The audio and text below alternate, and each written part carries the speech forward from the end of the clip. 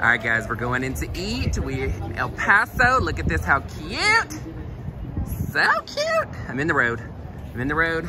I still look cute though. That's all I gotta say. All right, let's go see what we order, girl. so we are in a restaurant slash bar slash watering hole. Um, what is the name of this place? Tap, T-A-P. You know, like those things I don't have at the bottom of my heels because I weigh so much and they be scrubbing the ground when I walk. Uh, tap. You know what I'm talking about. So um, we heard this place was so good that we had to decide to come over here to eat. And plus, because there's not really shit else around here to go eat. Um, but um, it's our kind of vibe. You know, it's very country. There's people riding horses and shit in here. Look. I hope that my uh, sound doesn't get blocked and demonetized. This is Flitter, if you don't know her. She's famous in the gaming world, so please make sure you go and follow her, subscribe, send me subs. You can uh, send me subs to her channel so that I can watch. Um, I'm not mad at it at all uh, because that means I don't have to pay for it. And then I send her all the wine glasses. She's taught me how to do a lot of stuff. Her and Chris um, have, have taught me how to be tech savvy, meaning like they show me the five steps and then like call again when I forget. And then you have all the cute emotes. Is that what they're called? Emotes? Yeah. Um, super cute. She has one where like it's like her stirring the champagne, I mean the champagne, the wine glass, and then she has Mama Cat, and then um, you have the one that is um, oh the panic, and you have the no. That one was cute. We're gonna say hey to two more divas that are here. Um, be very careful. These two are like vipers. They will steal your man in a heartbeat, okay? And by steal, I mean like run him over with a car. Okay, I'm gonna let you introduce yourself, all right? Hello everybody, my name is Carmina. So watch out, because I'm coming for your man. She took over my territory in the Gulf Coast, by the way. I'm Christine. I got a new man, so I won't be taking your man. And you don't even have to blow this one up or anything. So, all right, we're gonna figure out food. We'll see if they decide to ever come and take the dirty plate that was sitting here. Um, but I'm sure by the warm welcome that was gone that we won't. But it's okay, as long as the food slaps, I ain't worried about it. Um, I just want a stiff drink. No comment. And people mix us up. I think it's the hair. What do you mean? They think we look alike. It's the lips. It's the lips. I'm telling you. All right, let's figure out what the food's gonna be because there's not a menu here. We'll see when she decides to come over here. Um, but again, hope I don't get demonetized for this music. That's all I gotta say. Okay, guys. So I ended up not filming when we got in um, a whole lot because first off the music. So I'm not even sure if it's gonna get demonetized, but girl, we waited so long.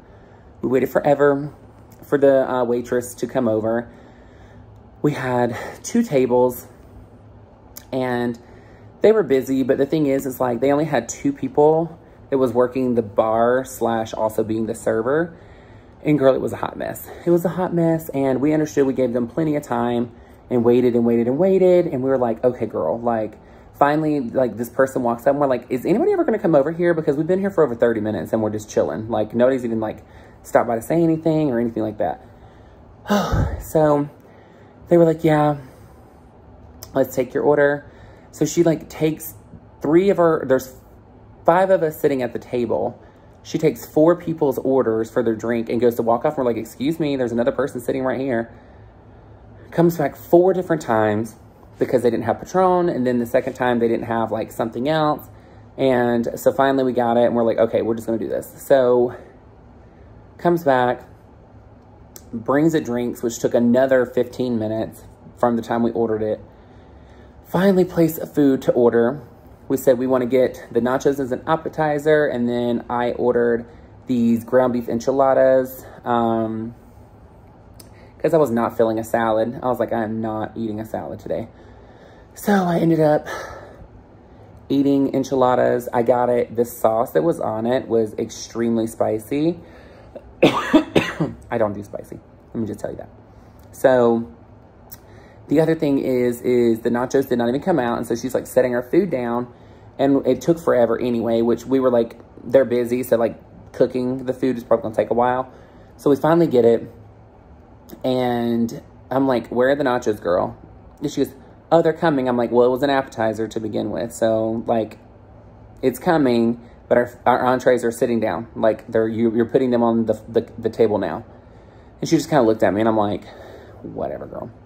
So, we eat the food. It wasn't great. I didn't really care for my food. Everybody else liked it. Um, I wasn't, like, I'm not going back there to eat again. That's not going to happen. Um, we paid, we left. We are like, let's just go back to the hotel, just go to the hotel bar. The bartender there is super nice. She makes great drinks. And, um, of course, it's hard to mess up Patron water with three limes, I'm just saying. But she's awesome. She did such a great job. And uh, so we sat outside and we just chit-chatted and we talked. And today was awesome. We had such an awesome day. We had a, a, a ton of amazing clients.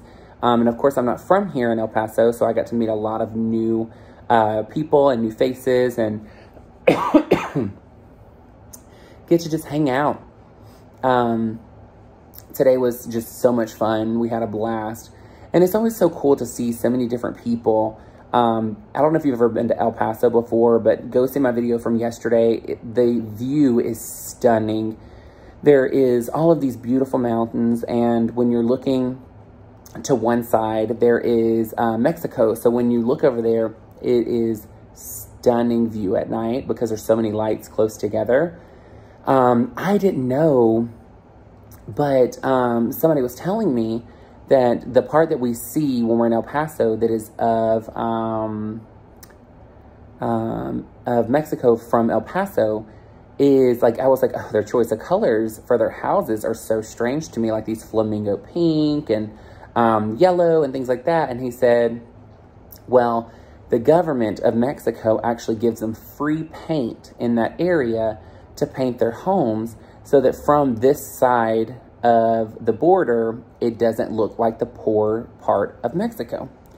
And I was like, that is so sad that instead of the government taking that money and fixing the issue, they're just giving you paint to make it seem like it's better than what it is.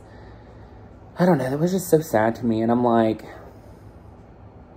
you can tell when you're looking at the houses over there that they're not very um, like I couldn't imagine them having central heating and cooling. Like that's what it looked like. You know what I mean? Like it looked very run down except for just a bright color of paint on it. And I don't know. I just sit here and think about, you know, I went 14 days with no air and I was dying and these people are, you know, struggling and their government instead of just helping is giving them paint. Like I don't get it. I don't even know. But um yeah, so we ended up, like, when we walked out, I wanted to go to that uh, bar that was to the left called Mona, but it wasn't open. So I don't even know if it's still open or if it's only like a weekend thing or what. But um, yeah, I just, I don't know. So El Paso to me is so beautiful. And every time I've, well, this is my second time coming here, and I just am just, I guess, in awe of its beauty um, because it's so different than anything I've ever seen. And it's just, I don't know, the people are so nice. And there's a lot of money here, girl. There's a lot of money here. But the people are so humble and they're so chill. And you can tell it's very family oriented here, which is really cool to see. Um, but I don't know. I don't know. I'm just, I'm so excited to be here. I wouldn't want to live here um, because there's just nothing to do. The last time I came here, I stayed a little bit longer on a Sunday um, because we were flying home on Sunday like we are this time, but I actually got a flight for the afternoon. Um, I think it was like 5 or 6 o'clock versus um, what I did this time where I'm flying out at 11 a.m. But I will tell you,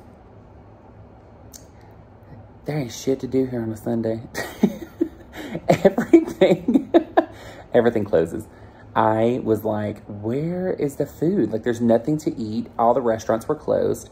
There was nothing even like available to like go do. Now they had um, this really cool festival outside, but by festival I mean like they had a mariachi band and um, they had a little bit of street food, but it wasn't like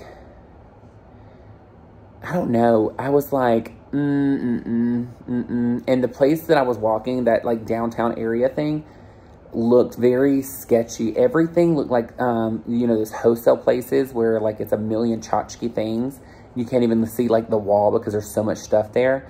every single store was like that. And there were so many people standing outside the store trying to like peddle stuff. I was like, girl, I'm over this. Um, but yeah, I don't even know. I don't know where we're going to go to dinner tomorrow night. I know we're not going back to that place. It's called TAP, T-A-P.